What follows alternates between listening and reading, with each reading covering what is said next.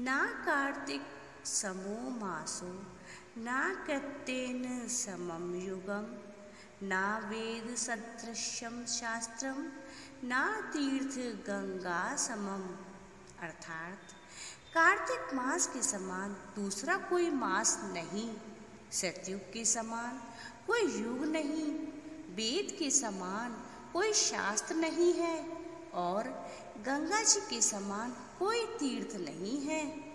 जय श्री राधा कृष्णा।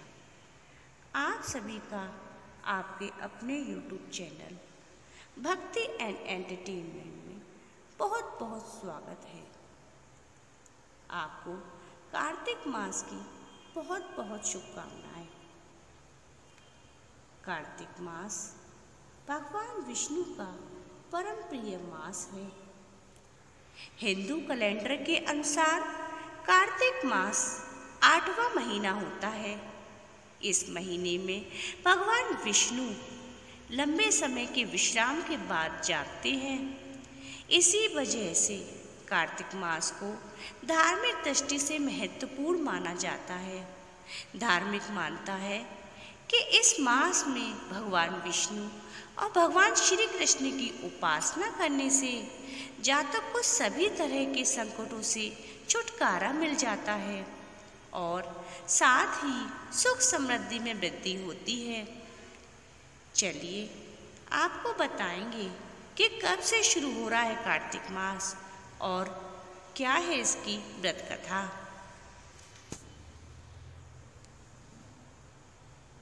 पंचांग के अनुसार कार्तिक मास की शुरुआत 18 अक्टूबर से होगी। वहीं इसका समापन अगले महीने, यानी 15 नवंबर को होगा। इस मास में रोज़ाना सूर्योदय से पहले उठकर पवित्र नदी में स्नान करना चाहिए। अगर ऐसा संभव नहीं है तो घर में भी पानी में गंगा जल डालकर स्नान करें। इसे कार्तिक स्नान भी कहा जाता है। मानता है कि ऐसा करने से जातक को पुण्य फलों की प्राप्ति होती है। इसके अलावा इस मास में भजन, कीर्तन, दीपदान और तुलसी के पौधे की पूजा अर्चना करना शुभ माना जाता है। कार्तिक मास में करवा चौथ, दीपावली भाई दूज समेत अन्य पर्व भी मनाए जाते हैं। तो आइए जानते हैं कार्तिक मास की व्रत कथा का अध्याय पहला। कार्तिक महात्म पहला अध्याय। नैमिषारण्य तीर्थ में श्री सूर्य महाराज अट्ठासी हज़ार सौनकाजिक ऋषियों से बोले कि अब मैं आपको कार्तिक मास की कथा विस्तार से सुनाता हूँ, जिसे सुनकर मनुष्य सब प्रकार के पापों से छूटकर अंत समय में वैकुंठ को प्राप्त होता है।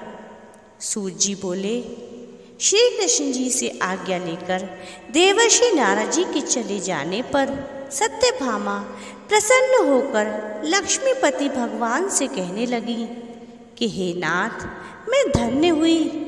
मेरा जीवन सफल हो गया। मेरे जन्मदाता भी धन्य हैं, जिन्होंने मुझे जैसी त्रिलोक सुंदरी को जन्म दिया। जो आपकी सोलह सहस्त्र स्त्रियों के मध्य में आपकी परम प्यारी पत्नी बनी।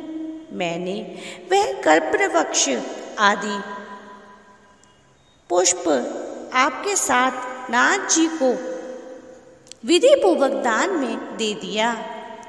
परंतु वही कल्पवृक्ष मेरे घर लहराया करता है, जिस बात को मृत्यु लोक में कोई भी स्त्री नहीं जानती। हे त्रिलोकीनाथ मैं आपसे कुछ पूछना चाहती हूँ। आप मुझे विस्तार पूर्वक कार्तिक महात्म की कथा सुनाओ, जिसको सुनकर मेरा हित हो, तथा जिसके करने से कल्प पर्यंत भी आप मुझसे विमुख न हो। सूजी बोले सत्यभामा के ऐसे वचनों को सुनकर हँसते हुए श्री कृष्ण जी महाराज बोले और सत्यभामा को हाथ पकड़कर तथा अपने सेवकों को वहीं रोककर विलास युक्त अपनी पत्नी को कल्प वृक्ष के नीचे ले गए और हंसकर कहने लगे कि, हे प्रिय, सोलह हज़ार रानियों में से मुझे तुम प्राणों के समान प्यारी हो।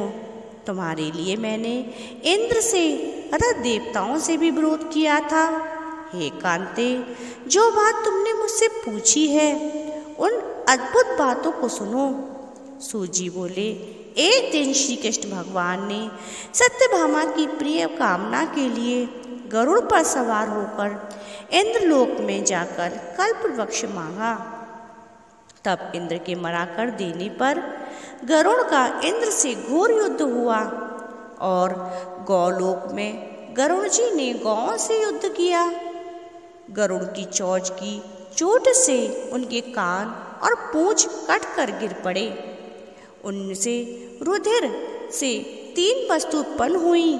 कान से तमाकू पूंछ से गोभी और खून से मेहंदी। इन तीनों के प्रयोग करने से मोक्ष प्राप्ति नहीं होती।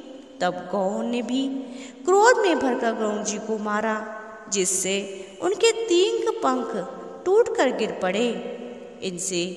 पहले पंख से नीलकंठ, दूसरे से मोर और तीसरे से चकवा चकवी उत्पन्न हुए।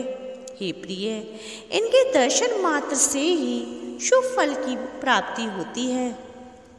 यह सुनकर सत्यभामा बोली, हे प्रभु, मैंने पिछले जन्म में कौन कौन से दान, व्रत व जप किए हैं? मेरा कैसा स्वभाव था? अतः मैं किसकी पुत्री थी? और मुझे मृत्यु लोक में जन्म लेना पड़ा। मैंने ऐसे कौन से शुभ कर्म किए जिससे आपकी अर्धांगिनी हुई? कृष्ण बोले, ही प्रिय, जो तुमने पूर्व जन्म शुभ कर्म किए हैं विस्तार पूर्वक कहता हूँ। उसे सुनो, पूर्व समय में सतयुग के अंत में, मायापुरी में अत्रि गोत्र में, देव शर्मा नाम का एक ब्राह्मण वेद वेदांग का जानने वाला रहता था। वह रोज अतिथियों की सेवा, हवन और सूर्य भगवान की पूजा किया करता था।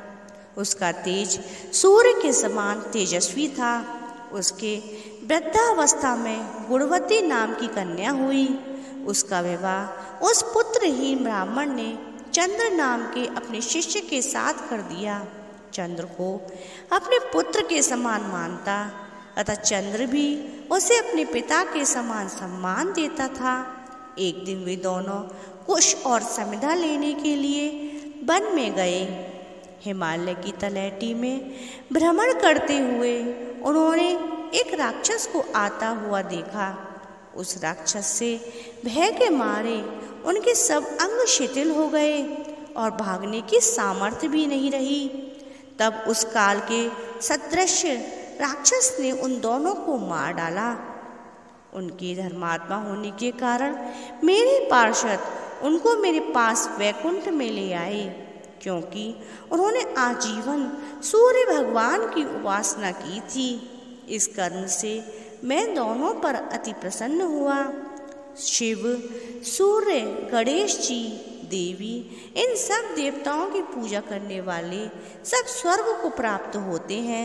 मैं एक होता हुआ भी काल और कर्मों के भेद से पाँच प्रकार का होता हूँ। जैसे एक देवदत्त, पिता, भ्राता आदि नामों से बोला जाता है। जब वह दोनों विमान पर चढ़े हुए, सूर्य के समान तेजस्वी रूपमान चंदन और माला धारण किए हुए मेरे भवन में आए तो दिव्य भोगों को भोगने लगे। वो कार्तिक मास के ठाकुर की जय, वो राधा रानी की जय। जय श्री राधा कृष्णा। कार्तिक माह मातम अध्याय प्रथम समाप्त। जय श्री राधा कृष्णा।